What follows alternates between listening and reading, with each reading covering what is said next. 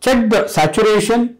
If the saturation is less than 94, it may indicate the severity. The patient may be progressing to a severe pneumonia or an ARDS. Auscultate the lungs well.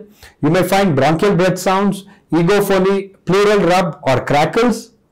And in chest x-ray, which must be done immediately if you're suspecting pneumonia, you may have either lobar pneumonia or you may have patchy